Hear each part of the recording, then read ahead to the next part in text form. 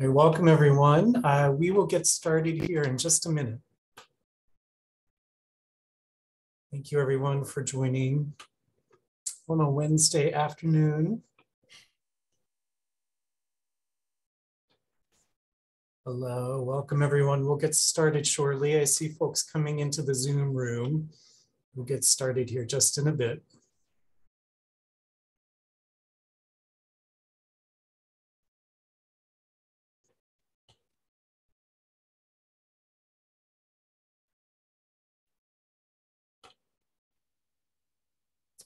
All right, looking good on Facebook too. I see a few people watching on Facebook. Welcome. And I appreciate everyone showing up on time. We do have quite a few registrants today, so we're going to give folks just another minute or so to, to come in and join us. Great. Maybe in the meantime, if people want to share in the chat, like where they're watching from, it's always cool to see where people are tuning in from today, like what area of Portland, or if you're from outside, put that in the chat or the Facebook comments. It'd be cool to see. That'd be great.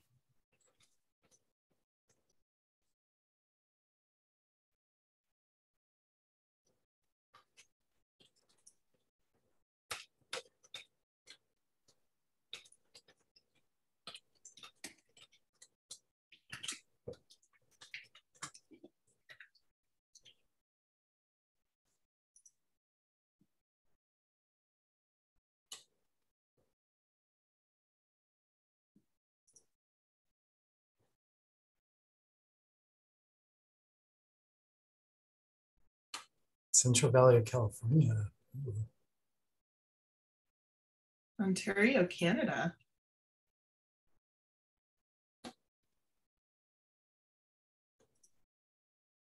Yeah, we've got some folks turning, or some, we got Multnomah County, Central California. That's cool. I think it's really fun to see because with something virtual, you never know. Right. Mm -hmm. It's very true.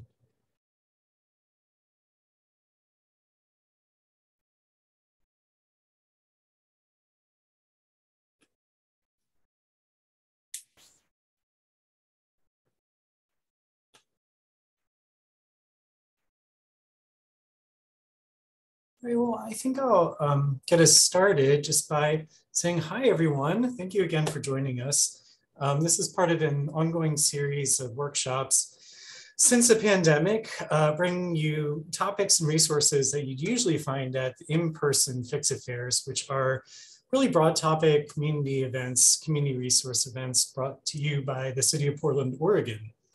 And since the pandemic started, we moved a lot of our stuff online but uh, this fall, we hope to uh, start our in-person events again uh, as we knew them before the pandemic. But good news also, we do intend to have some online workshops still as well.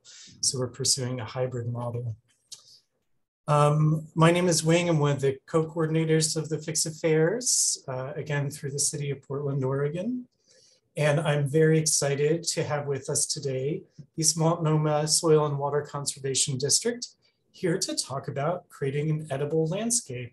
Thank you so much for joining. Take it away. Great. Thank you so much, Wang. We're really happy to be with the Fix It Fair. My name is Tiffany Mancias. I'm the Community Outreach Coordinator with uh, East Multnomah Soil Water Conservation District. And I just want to share a little bit about we like the work we do and what that looks like, and then introduce our incredible presenter today.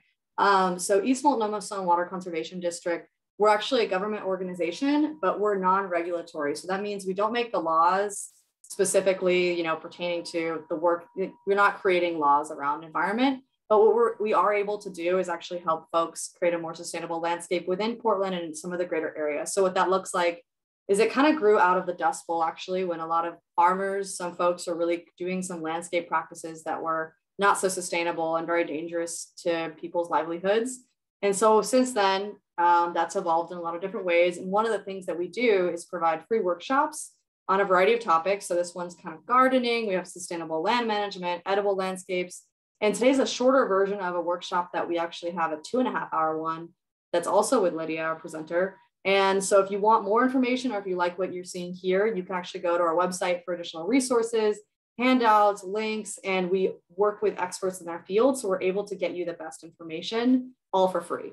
Um, so today I'm going to introduce right now um, one of the incredible experts we work with. We contract with Lydia Cox, who's an educator, landscape designer. And Lydia's specialty is to empower people to actually grow their own food at home and to show you what that looks like. So I'm going to pass it over to Lydia. And as you continue going through this webinar, as we keep going, please put questions in the chat. We're here live, and the benefit of that is that you get to ask those questions. So, all right, take it away, Lydia. Thanks. Great. Thank you so much for the introduction, Tiffany. I'm super happy to be here today with all of you and to share this information about how you can grow food in your own um, space, whether that is your landscape, whether you have a balcony with some container space, whatever scope you have, I want you to be, uh, be able to walk away with some tips for how you can start growing your own food at home.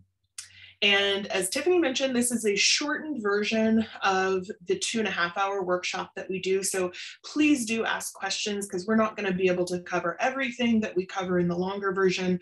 Um, but what I'd like to do is have you walk away with um, some, some energy, some excitement, some inspiration for how you can start incorporating food in your landscape. And so here's how we're going to do that. We're going to talk about a few different distinct types of edible plants how you can make an educated decision and where to place it within your growing space or your landscape, and then also give some tips and tricks for how you can create a whole ecosystem around your, your garden or your food forest or your food growing space so that it can be as healthy and robust as possible. So let's dive right in.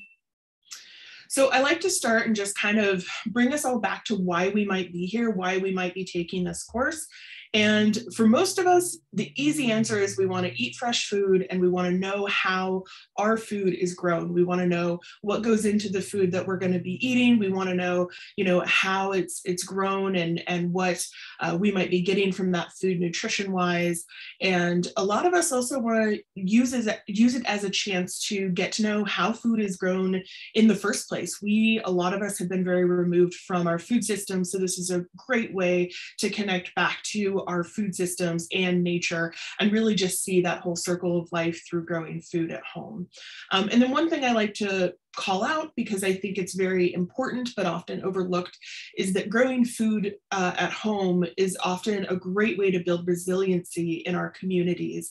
And I am going to speak primarily to folks who are living more in that close knit kind of urban community. That's sort of the template I use for talking about how you might want to transform your landscape. But know that everything I talk about can scale to larger sites or smaller sites. Um, but that's really kind of that sweet spot where we want to build that resiliency, build up the knowledge that different people in your neighborhood have to grow food, and be able to really kind of uh, create an even more local food system than you may already have. So this is what we're going to cover today. Um, we'll go ahead and jump right in because it's a lot. So before we start talking about specific plant types, I want to introduce an idea because I'm going to use it and reference it kind of throughout the rest of this talk. And it's the idea of breaking up your landscape into different zones. And the reason this is helpful is because if you are growing different food crops or different types of plants that produce food, you want to make sure that you're putting them in the right space for the plant to thrive and in the right space for you to be able to give that plant what it needs to give you a good harvest. And so, generally, again, kind of thinking about that typical urban lot. Um, so, you've got some space, but maybe you don't have acreage most spaces like that, you're going to have about three zones. You're going to have the first zone, which are places within your landscape that you are interacting with more or less on a daily basis. So I'll give you some more examples when we look at all three zones, but these are the things that you either see up close, you have your hands on, you're passing through these spaces within your landscape pretty regularly. Your zone two, oops, there we go. Uh, your zone two is going to be something, uh, a space that maybe you spend a little bit of time during the week, but you really, you kind of ignore it part of the time. So maybe that is a part of your landscape where you really only spend time there over the weekend. That would be a good example of what we would consider a zone two. And a zone three in this example would be um, a spot in your landscape that pretty much gets ignored. Maybe you're out there kind of looking at the plants or um, just physically moving through that space once a month or so, but it's really the space that gets the least amount of attention. And the reason this is important when we're looking at growing food is because different types of food crops or different types of edible perennial plants are going to need different amounts of attention, of um, you know care when it comes to pest and disease, to harvest time and harvest uh, methods. So this is just one way to really start um, creating an educated map of your space so that you can really set yourself up for success. So using this idea of zones, we're gonna go ahead and talk through a variety of different um, types of edible plants and where you might wanna place them both within those zones and other considerations to take into account. So often when we're talking about growing food at home, we think immediately of those annual veggies and fruits. So something that you, you know, you plant and it grows and you harvest it and it's gone more or less within one growing season. Those are generally considered annuals. Um, it's all those great crops like beans and summer squash and tomatoes, peas, all of that good stuff. Those would be considered annual crops. So these are really best suited when you're thinking of your overall landscape in that zone one, because these are the plants where we're really demanding a lot. We are asking them to go from either a seed or a very young plant all the way to the point of maturity where we can harvest some, you know, luscious, bountiful, nutritious food from. And so this often means that they have higher pest pressure. Um, just like us, a lot of the pests that we have that are going to munch on your veggies, like, you know, tender greens, and they like um, things that are, are fresh and kind of at their peak. So these plants naturally have kind of a big window where they might be a little more prone to those pests. So we really want to make sure we're putting them in a spot where we can keep our eyes and our hands on these plants to give them the care they need. Now, one thing I, I didn't mention, and I want to mention mentioned this and I'll probably reiterate a couple times, is the zones are really to help you in making sure that things are placed in a way that is going to work with how you already interact with your landscape. The most important thing, however, for plants is to figure out how much sunlight they need because if your zone one is full shade i'm not saying that you should grow your tomatoes there. Tomatoes need full sun. That might be an opportunity where you're going to be pushing those out into a zone two hopefully not a zone three but i think even if you don't have the proper sun in those spaces that you interact with most closely the idea of zones helps because it really tells you okay here's the responsibility i have for this particular type of uh, food producing crop. And so even if you're pushing things out into a sunnier spot in zone two, kind of shift the way you think and say, you know, I really need to be visiting this space more frequently um, because I know that this is what these types of plants need. So just a little aside there. Um, so Annuals generally are going to have a dedicated space as well where you can kind of turn over those crops either multiple times uh, in the season or at least once a season. Um, it's not usually uh, super easy or helpful to have um, too many annuals and perennials mixed together. So perennials we're going to talk about in a minute, but those are the types of plants where you plant them once and that, that particular plant is going to live for multiple years and hopefully produce food for you for multiple years. And so it can be a little challenging if you mix annuals and perennials in the same bed.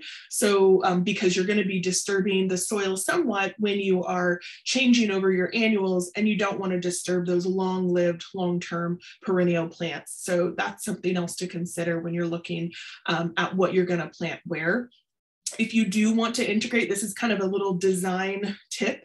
If you do want to integrate some annual plants within your perennials, for example, if you have a perennial herb garden that has, you know, all of those great Mediterranean herbs that live for years, like rosemary and sage and lavender, and you want to maybe include something like basil or parsley or cilantro, a really nice way to do that design wise and functional functionality wise is to have a few spots where you have containers placed within that perennial space, that perennial bed. And then those can be your little dedicated areas where you put those annuals so you're not also disturbing the soil around those perennials. So that's just a quick tip design wise. Um, but so then what we're going to want to look at next kind of uh, goes both directions. These can be annual or they can be perennial. It really just depends on what the specific plant is. And those are herbs and edible flowers. So I kind of touched on that um, with the example of having a perennial herb garden where you're also incorporated incorporating dedicated container space within that perennial bed with those annual herbs, you can see how there's overlap. It just depends on whether or not they can survive our winters and live for multiple years or not. Um, but it's really, really great to see this as an opportunity to start expanding the, the edible quality of your landscape beyond just a dedicated raised or in-ground annual veggie bed. This is really where you get to start picking some really interesting and fun plants that are gonna stick with you for a longer term if they're perennial and can really start existing outside of that zone one, that kind of precious space where you're putting most of your time and attention. These are plants where you can start pushing them further out into your landscape because they are, um, you know, often lower pest pressure plants. Um, in this example, on the right-hand side, we have rosemary and we have sage, and those are both really wonderful, attractive, um, really beneficial plants that really don't need to be, um, you know, kind of coddled or babied. They're drought resistant. They're really tough. And so they're a great option if you want to start adding more edible plants out further into your landscape in that zone two or that zone three, where they're still going to be able to thrive without you having to dedicate that kind of daily attention to. And so what that does is that then opens up that more annual precious zone one space for herbs or edible flowers that are annuals and might need a little more attention. So again, on this slide, we're looking on the left-hand side at an edible flower called nasturtium. And nasturtium is really wonderful. Those beautiful, big, bold flowers are completely edible. In fact, the entire plant is edible and it has a nice kind of black pepper taste to it. So it's not, you know, it's not usually something that you'd think of when you think of like those little um, sugared flowers on cakes. This is much more of something you can throw in a salad. You can use to garnish uh, an entire dish. Really, really great annual edible flower but you really want to put it more in a zone one because it is a little more prone to things like aphids, um, but it's a really easy one to kind of pull out if you have an aphid issue with that nasturtium, pull it out, start another round of them because they're really beneficial in your garden and they're edible. So you can see how um, I think this is a category of edible plant that is really underutilized in the greater landscape. I think most of us don't realize that we can actually um, look at and incorporate um, these, these different parts of our food forest or our edible garden um, and and not have to dedicate all of our zone one space to to everything that we eat and have just ornamentals beyond that. So then we're kind of pivoting and looking at um, some options for perennial, perennial edible plants. And primarily I'm looking now at fruiting shrubs, fruiting ground covers, um, things where we're gonna eat different parts of the plant, but they are gonna stick around again for years to come. And so this is another spot where you can really start expanding out into other parts of your um, landscape and even in really highly visible parts of your landscape. For example, blueberries, artichoke, um, huckleberry, those are all really attractive plants that are perennials.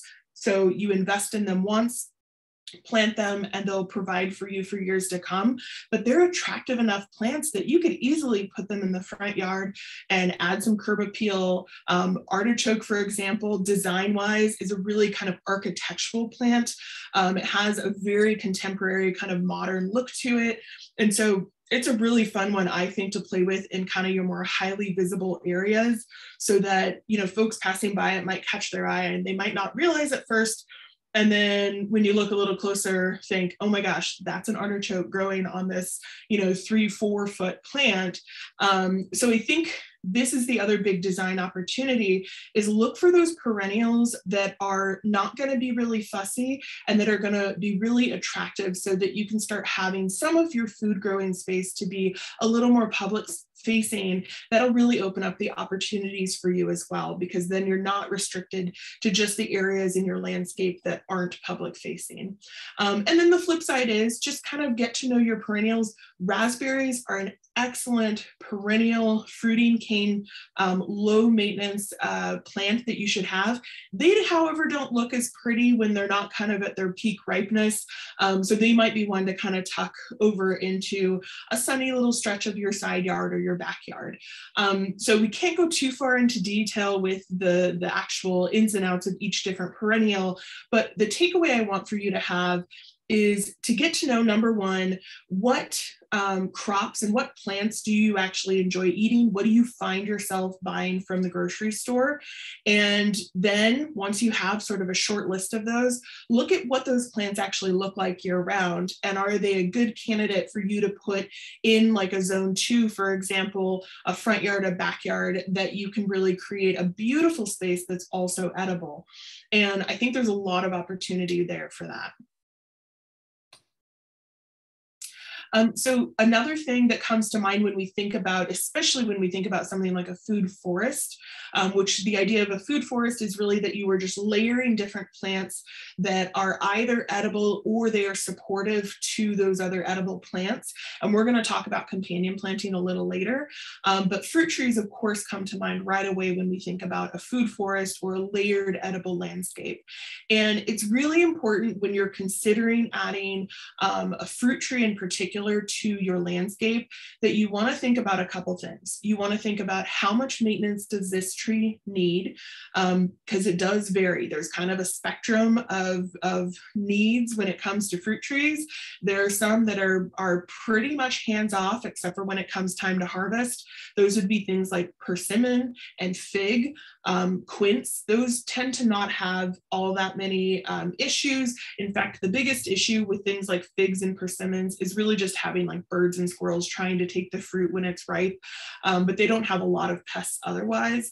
And then there's, you know, the other end of the spectrum where you might have, you know, apples and pears and and um, plums and things that might need a little more attention throughout the year. They still would be a good candidate for that zone three, where you don't have to pay attention to them every single day, but you're going to want to know what times of the year does this need some excuse me, some special attention?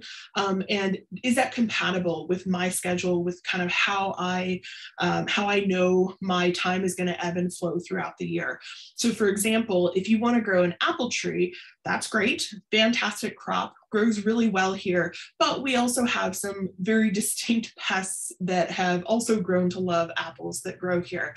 And so um, whenever I'm talking to someone who wants to grow apples, you want to know that June is a really big month of the year when you're going to want to have some extra special attention on your apples.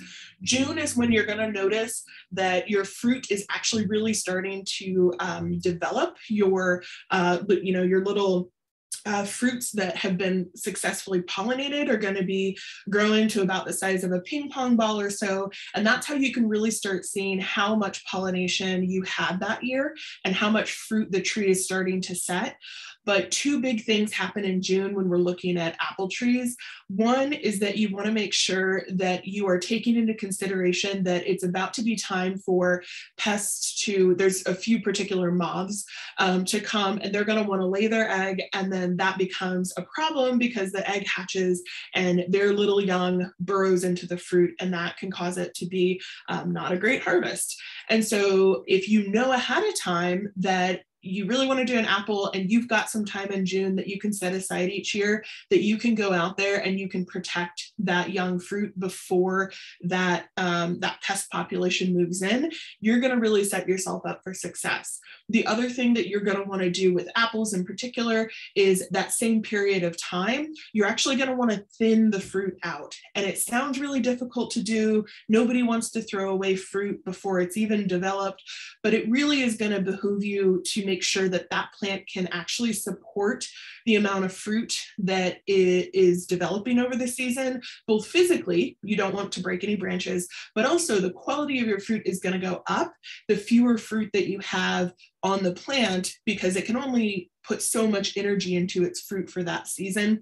And so the best rule of thumb for thinning out your apples in particular is everywhere that you have a little growth um, point, a little fruit spur, um, where you have, you might have like a cluster of multiple apples starting to develop, you should really get down to just one apple left at each of those little fruit spurs. And you really just kind of break off the ones that look smaller, like they're not forming as quickly, and leave the healthiest, biggest one. And so I kind of go through all that detail to give you an idea of how you are not only going to want to consider, well, what do I like eating, but you're also really going to want to consider what does this particular um, edible plant need from me at what time, and is that compatible? And if it is, then that's great and move forward and find a spot within your landscape for that particular plant. And if it's not a good fit for you, then maybe look at some different plants, or in this case, some different fruit trees that might be a lower, lower maintenance fruit tree or might need attention at a different time in the year. Um, okay, so then of course, we have some really excellent Pacific Northwest native plants that offer edible. Um, in this case, we're looking at fruiting plants, um, but are really wonderful additions to your edible landscape. Not only are they really well adapted to our soils and to our weather patterns already, um, but they're also excuse me, going to be something that even if you don't keep up with harvesting them, we have a ton of uh, native wildlife that are well adapted to take advantage of any of the excess fruit that you have growing. So they're kind of a dual purpose. You can harvest from them and get a crop, but you can also use it as a habitat plant to support native birds and things like that. So these are just a few examples of some of our native plants that have um, edible qualities. And I like to mention that when you are looking at the overall kind of design or layout of your landscape, um, get to know the habit, the growth habit of that particular native plant because some of them are really vigorous because they are well adapted here and they kind of have their their preferred style of growth is to maybe even form like a thicket. So instead of you you put in one plant and it just stays put, some of these natives really want to just start filling space because that's what they like to do when they're in the right conditions. And as long as you know that ahead of time, you can plan the appropriate amount of space and that also helps you kind of plan ahead and know what type of, what volume of crop you might get. And so in this example on this slide, I would say that the um, thimbleberry, which is in the top right, and the salmonberry, which is in the bottom left. Those are both examples that if you plant even just, you know, one or two plants of each of those, they're really gonna kind of fill out and take up quite a bit more space than that starting plant because they like to form a little thicket. Whereas if you want something that um, really stays put, maybe you have a much smaller space, you really need to conserve space, then you're gonna wanna pick something like the evergreen huckleberry, the Oregon grape, or salal. Those are all gonna going to be a little more predictable. They're not going to, um, you know, send out a bunch of shoots and create a thicket in the same way or the same speed that something like a thimbleberry would. Um, so that's just a little tip when you start looking at these Pacific Northwest natives, kind of know what its habit is so that you can give it the space it needs. Okay, so we've covered quite a few different types of plants. Like I said, we're really just kind of scratching the surface, but I wanna go ahead and move on to soil and water because in addition, or I would say no matter which type of edible plant you're growing, one of the most critical things is going to be your soil and your soil life. And that's what's going to help make sure that you are starting to build um, a really healthy space to grow your food in. And you're also reducing any need that you're going to have to have a ton of extra inputs like fertilizers to grow your food. Because if you have really healthy soil, then your food is going to have access to the nutrition that's already in that soil. So let's kind of talk about that. So this is this is kind of just a, a rough um, way to start thinking about your soil. And what this is representing, this pie chart is showing us that there are really two main um, kind of tangible elements to your soil, which are the mineral components, kind of what we think about when we talk about dirt. It's like those are the, the sand and the silt and the clay particles that make up the bulk of our soil. Um, these are things that have different properties. These play a huge role in how our, our soil drains. So most of us, well, and I, I see we're kind of all over the place for this particular presentation. If you're in the Pacific Northwest, in the Portland, Oregon region, most of us have pretty heavy clay soil if it hasn't been amended um, or changed from kind of what, what we get naturally here. And so clay is a really fine, fine particle. And when it compacts, it can drain really slowly. So clay in and of itself is actually a great thing to have in your soil, but it can be a little problematic if it's really compacted or if there's not enough organic matter to kind of break up those clay particles and help retain moisture and nutrition. And on the flip side, if you have a really sandy soil, that water is just going to drain straight through because those are really big particles in, you know, in the grand scheme of soil size. Um, and they're big enough that you're you're just not going to have the chance for water and nutrition to kind of stick around very well.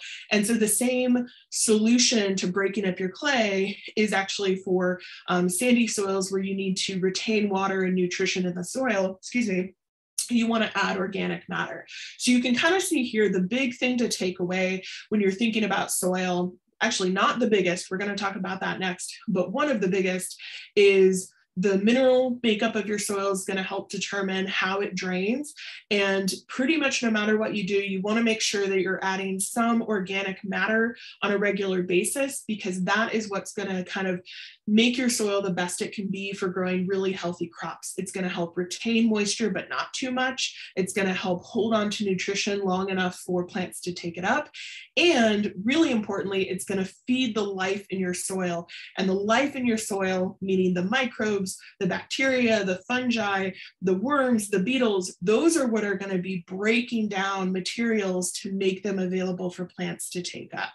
So really important to know that you know you don't need to be planting in just 100% compost that's not what we're looking for but you want that to be a critical part of your soil and so the other thing I want to point out on this slide is the other part of, of what kind of represents your soil is air and water. And I'm not asking you to go out and just start like pumping air into your soil or anything like that. What this means is that you want a variety of pore spaces within your soil so that you can capture and hold air and water because even roots need air pockets to do gas exchange.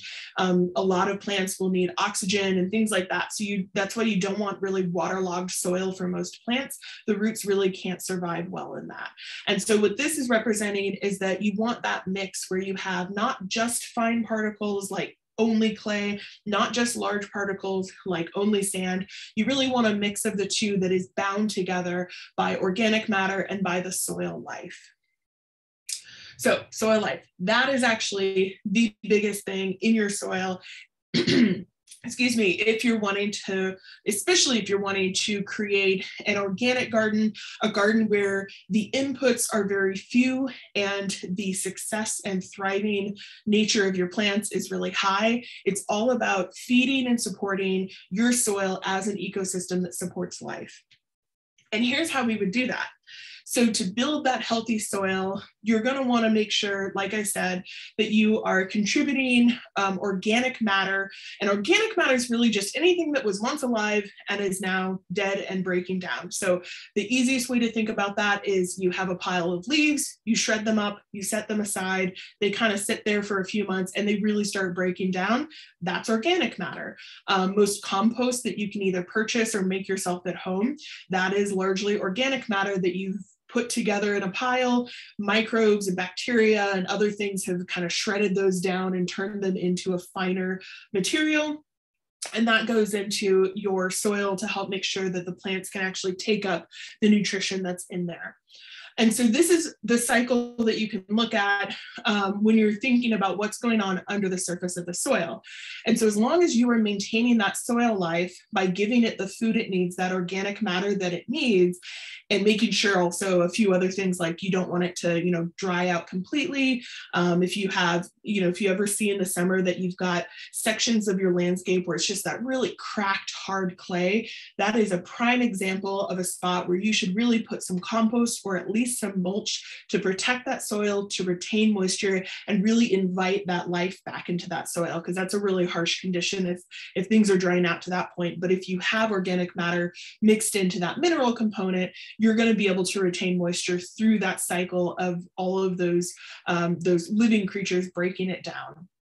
Um, and so a really easy way to add organic matter, and I think this is often overlooked. So I think this is, I would call this a hot tip. I didn't make it up myself, but I would think this is something that a lot of people overlook is that one of the easiest ways to consistently add organic matter to your soil, especially when you're looking at like annual raised veggie beds or, or in-ground veggie beds, is to leave the roots of your plants in the soil. So if it's the end of the season or if it's just the end of the season for a particular crop, instead of pulling that whole plant out, roots and all, cut it at the base, just cut um, right below the soil surface, leave that root system in your soil if you're starting to plant something else immediately just kind of adjust your plans enough that you can you know plant your seeds or plant your starts to one side or the other of that root system, but let that root system break down in the soil and it will immediately be a boost of organic matter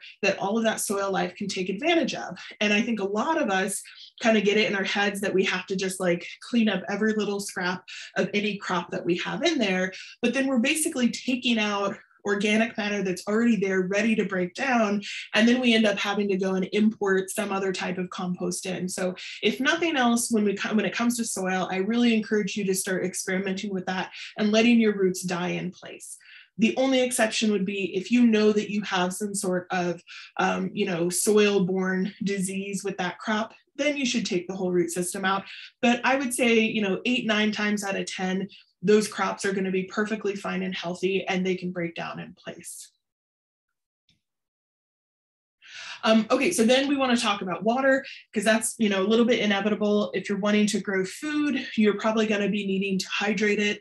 There are some really cool dry farming systems out there. We're not really going to talk about that today because I really want this to be accessible. And for most of us, we're going to want to be able to um, you know irrigate our crops so that we can really have a system that um, that works for us. That we don't need to go and kind of do all these specialty things. Um, and so for most folks folks, what you want to do is you want to keep a few things in mind. And this is regardless of if you're watering by hand, if you're watering with an automatic drip system, um, if you are using any other type of um, kind of standard technology to water. What you want to do is you want to keep in mind that water should be going directly to the root zone. Most plants, excuse me, most plants that you're growing, especially those annual veggie or fruit plants that grow really fast through the year, they're really going to benefit most from that water going to the root zone. And they either aren't going to benefit the uh, having their leaves wet, or some of them really don't like it because of potential fungal disease issues. But even if it's not a problem to get the, the leaves wet, you really want to make sure that you're targeting the water at the root zone because that is where it's needed to actually be taken up by the plant. So that's important to keep in mind. So even if you're hand watering, instead of just broadcast watering and not really knowing how far down the water is getting into the root zone, really try to get down there at the base of the plants, get that water down and explore. Kind of dig down and say, okay, I've been standing here watering for about a minute. Let me explore how far down into the root zone the water went. Does that seem about right? And if so, you can then move on. Um, kind of tied to that is learn the different root systems of the crops that you grow. And so what this means is something as simple as it's ready for, uh, it's time for you to, you know, maybe transition out a crop go ahead and even if you're going to leave most of the roots in the soil, maybe pull up one of those plants and take a look at the root system. And what you'll find is if you're pulling out something like a lettuce plant, it's going to have a pretty shallow root system compared to if you're um, pulling out something like a tomato plant or a kale plant. Those set really deep extensive root systems. And so once you start kind of teaching yourself or just observing and learning from what's going on with those root systems that's going to help inform how you're going to want to water your different crops. And the ones that have the deeper root systems like tomatoes and kale and uh, broccoli and all of those good things, you're going to want to water those deeper, but less frequently. You want the water to really soak down deep.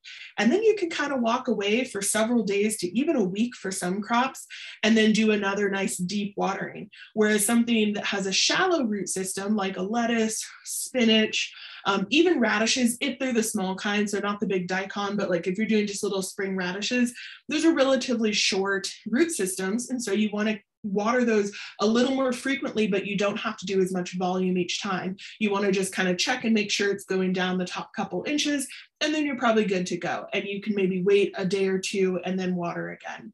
So really understanding and observing how your plants are growing, what the root systems look like, that is going to really help you um, have that skill set naturally. You don't have to go look it up online. You can really just observe and then adapt your watering accordingly. I already mentioned the importance of mulching soil, keeping it protected so it can retain moisture, um, and then also leaving roots in the soil to act as that organic matter to feed the life in the soil. Um, and just one thing I wanted to mention, because it comes up when we talk about this, is um, the idea of collecting rainwater to use in your garden. Um, absolutely, it's wonderful to be able to collect the water that comes off of you know roofs and other impervious surfaces. Um, but when you were thinking about it in terms of incorporating that water into an edible landscape, you want to think about a few things. So number one is about how much water do I use during my growing season, and how much water do I actually have the potential of collecting? How much water comes off the roof? Um, that's usually where we're collecting most of this water is off of roofs. And are those compatible? So do I have, not only do I have the phys physical space to hold the water that I've collected, but just how much, you know, how much runoff do I have the potential of collecting? And if you find that there, there's kind of a mismatch. It may not be worth your effort and your budget and your energy to set up, um, you know, collection. You might find another way to conserve that water. Um, for example, if you find that, you know, it's it's not really going to work out for you to effectively use your runoff water for um, enough of your landscape to collect it in cisterns, maybe instead you can just sink it on site by directing it toward a rain garden. That's a really great option that is still going to benefit the greater ecosystem, even if you're not putting it directly into your edible garden. Because I, I don't recommend that you grow food in a rain garden um, because the idea of a rain garden is you're able to sink a lot of water that potentially could be contaminated or have pollution. And those plants will help kind of clean it and help it sink into the soil. So it's still a beneficial part of your greater landscape. It's going to help you keep your overall soil structure hydrated. Certainly, your trees are going to be able to tap into that that water. Um, but I wouldn't, you know, grow your actual veg directly in a rain garden. But you want to start thinking about what are the different options you have with that runoff and think about potential contamination how much time and energy can you put into um, maintaining and, and kind of just keeping an eye on that water?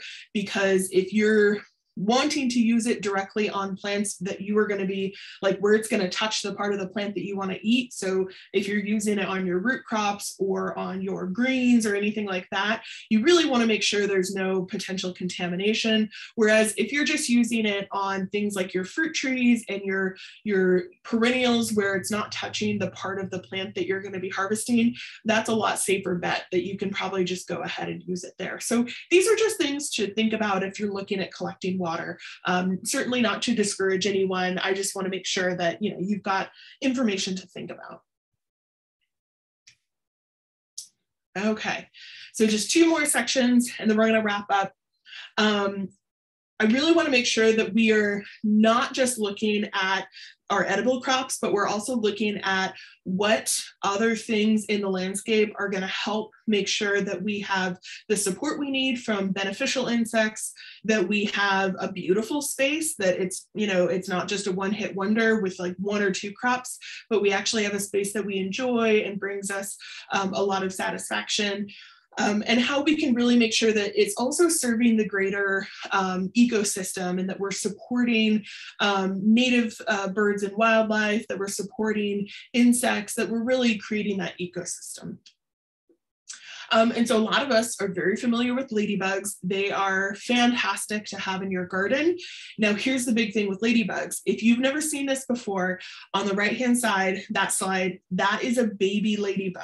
It looks very different than the adult version of the ladybug, but it is what is gonna consume way more aphids and pests on your crops than the adult. The adult can and will eat aphids and that type of, of pest, but the babies are the ones where that's really all they eat. They're gonna just chow down and do as much support for your crops and really cleaning up that pest population as much as possible. So you really wanna get to know your beneficial insects and what they look like at different life stages so you can make sure that you're not only you know happy when you see the adult ladybugs flying around or eating an aphid, but you also know what to look for when that next generation comes out and is doing even more of the heavy lifting.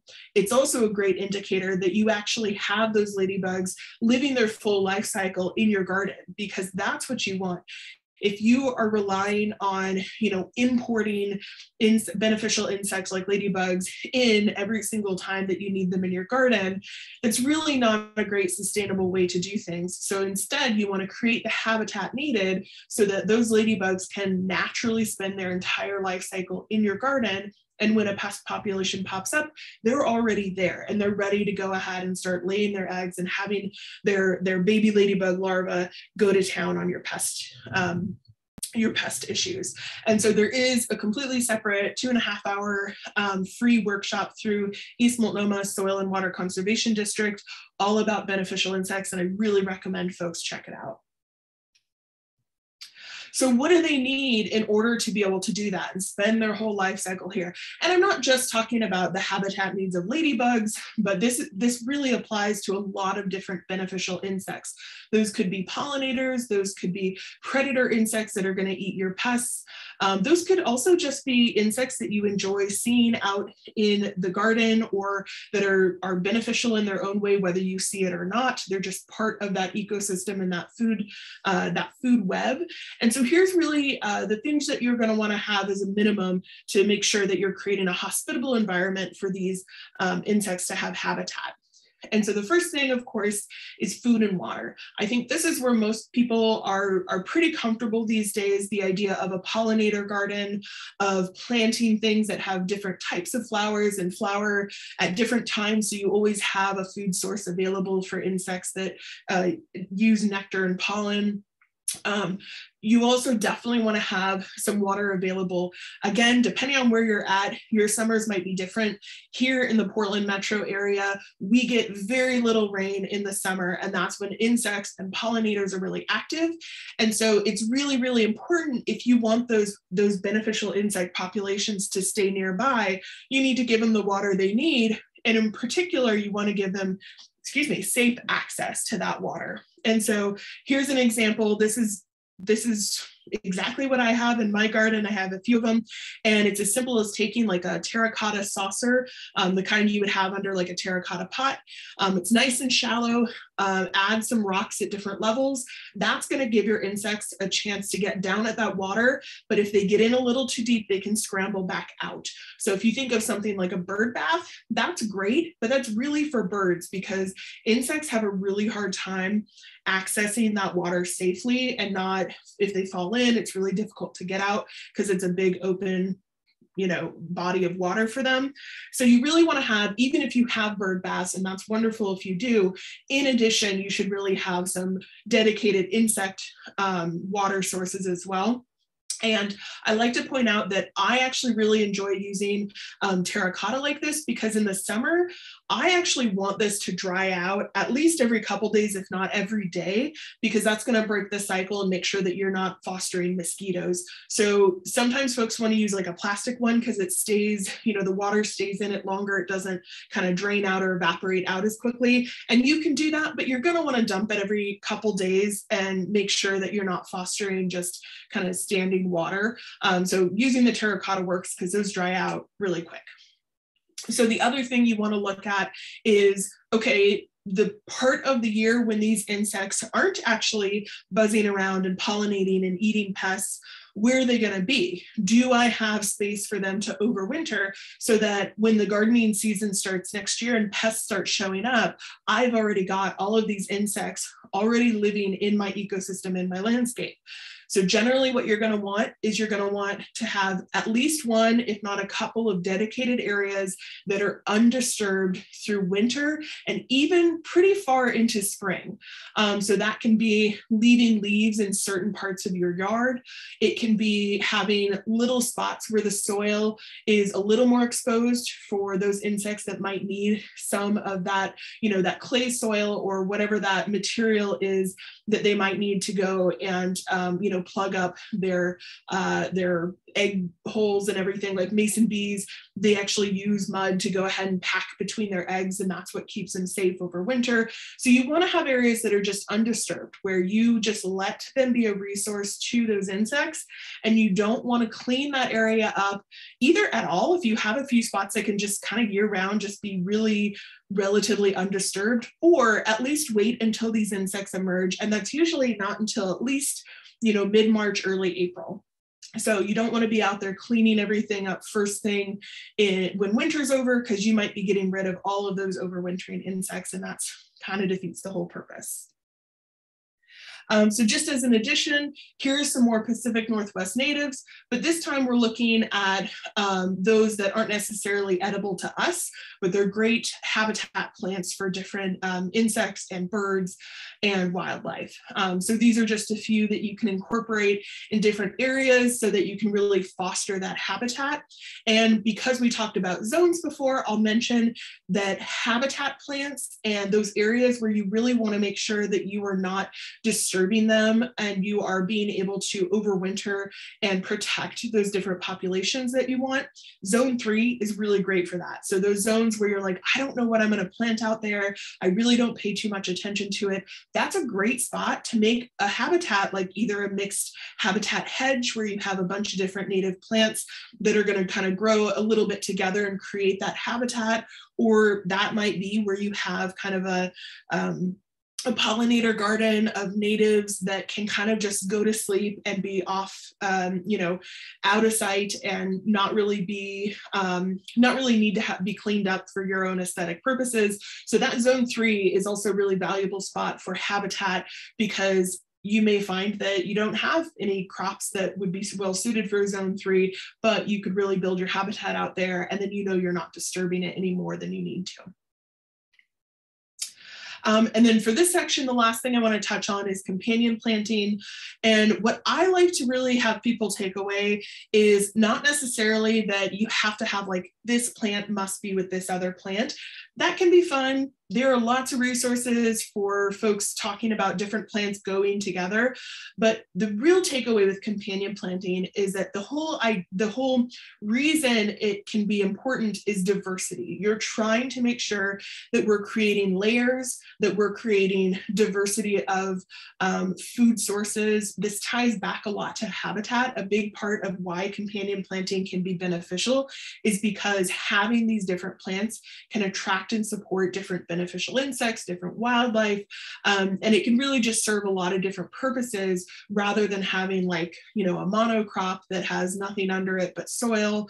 Um, you can see in this photo on the left, this is actually a young broccoli plant, so it hasn't created a broccoli head yet, but it's on its way.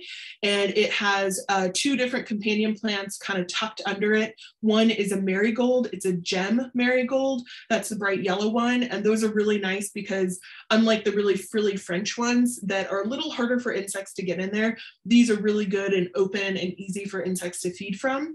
And it's also paired with sweet alyssum. And so these make kind of a ground cover. It's kind of a living mulch that will protect that soil soil under that broccoli patch and it's going to invite and support beneficial insects and it looks beautiful. So that's really the idea behind companion planting is not getting super hung up on this has to go with this. Um, but really just that idea of how can I diversify the plants in my space, in my edible garden, um, so that I can have multiple um, services being performed by those plants. And we're just about to wrap it up. This is a pretty quick little section here um, I want to save some time at the end for questions. Um, but a few kind of tips or things to think about as you are exploring how you want to make the most of your space and get a harvest as long in the year as possible. And so there are a few different things to think about.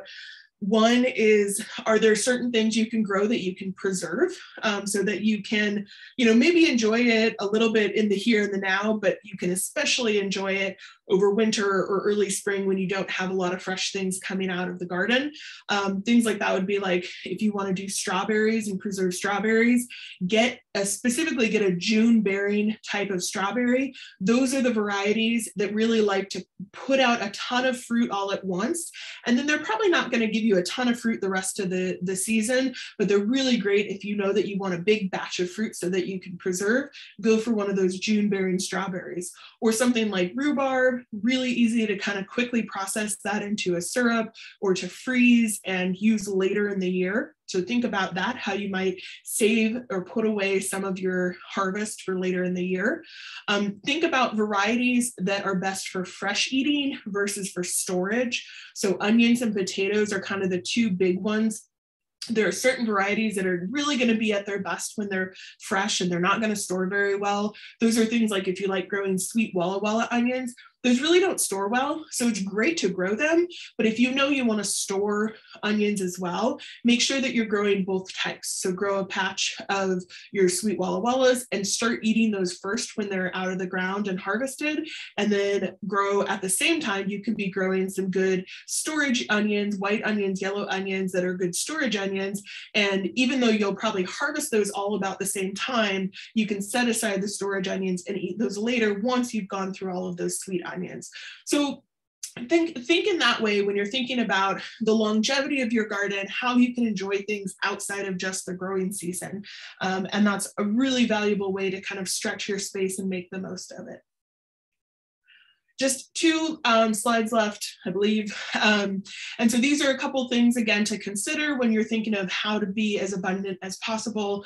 Um, one strategy is called succession planting.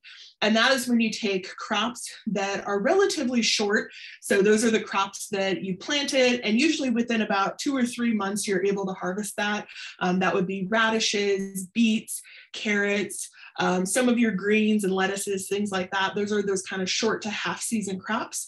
Really, if you can break out of the idea that you only have one chance to plant those and you plant them in spring and then you're done for the year, if you can kind of set that out of your mind, um, and at least this is true for the Portland metro area, it might be different other areas where your growing season is different. Um, but in the Portland metro area, we can definitely plant those types of crops as shorter season crops multiple times. And it helps you kind of stagger the harvest. So you're not just planting once, harvesting once, and you're just done for the season.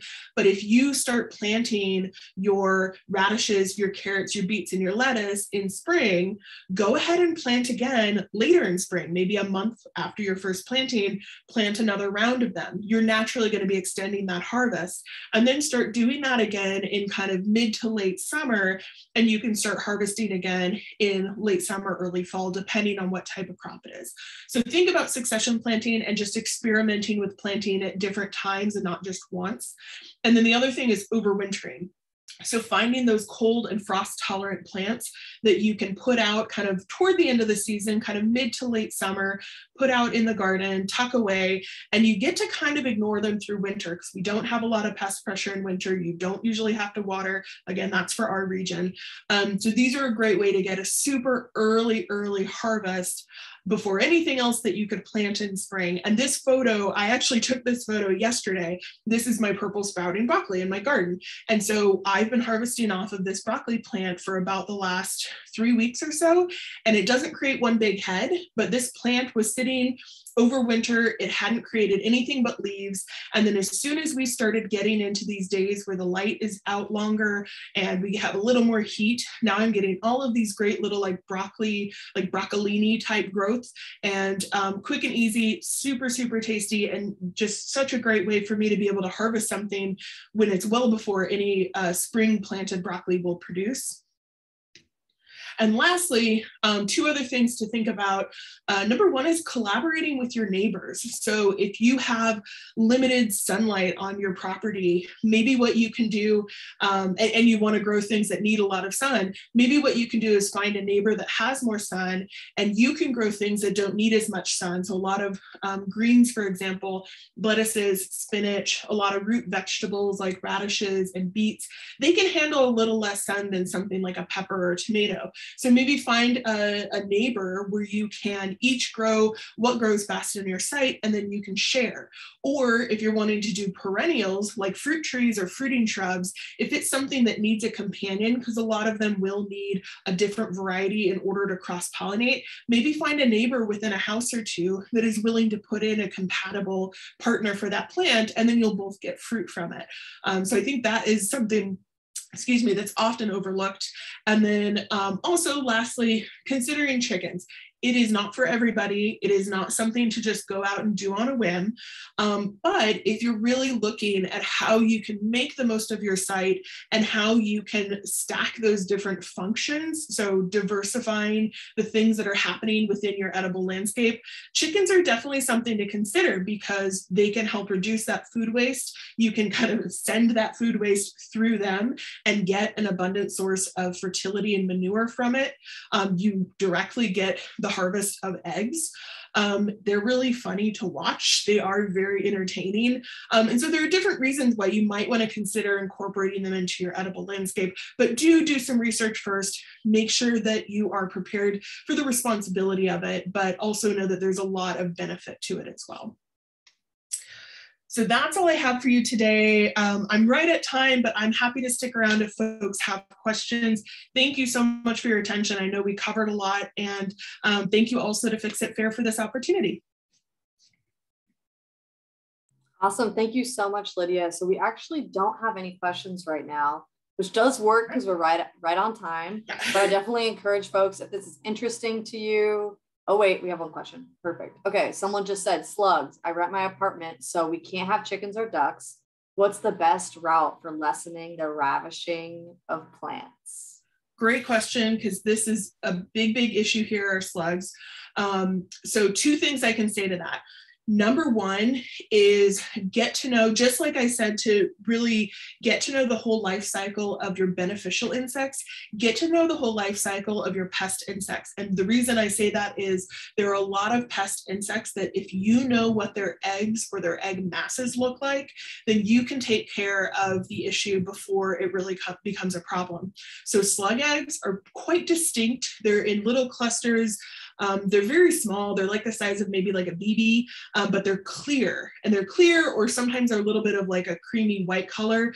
Um, but if you can start really kind of looking closely wherever you see slugs, start exploring around that area and trying to find where you can identify any slug eggs. And that is going to be a great way where you're just going to prevent the whole next you know population boom of slugs by taking care and removing that that cluster of eggs so that's one thing, that's kind of one approach to it. Um, the other thing is even without chickens or ducks, and I will say as a chicken owner myself, chickens can be disappointing with slugs. They don't love slugs. Ducks love slugs. So chickens are kind of take them or leave them. Um, but another thing that you can attract and support in your garden are garter snakes. And garter snakes are completely safe. They do not harm humans often, even if you've attracted them to your yard, you may never even see them, but they love eating slugs and slug eggs. And they really like the habitat they like is to have areas that are undisturbed, especially if they have rock piles. So it doesn't have to be big, you don't have to bring in boulders, but just, you know, collect rocks around your landscape, make a little rock pile somewhere that it can heat up and get warm. They really like that. And if you can make habitat for garter snakes they will often move in and they'll help take care of your slug population. So those are two kind of strategies. One's on your own and one's kind of inviting some extra help in. Thank you so much, Lydia. That was a mm. really like complex answer that covered so many different options for folks. So just want to say thank you so much. We also have some great comments in the chat saying thank you. People really enjoyed the presentation. And I just wanted to remind folks that if you're excited about these topics, if you want to see Lydia's full two and a half hour workshop, you're like, I need more, I just put that link again in the chat on Zoom. And if you're on Facebook, it's in one of the first few comments on there. And feel free to check it out. Lydia, thank you so much for presenting and Fix It Fair. We really appreciate you for having us on. Yeah. Yep. Thank you. Thank you so much, both of you. Thank you, everyone.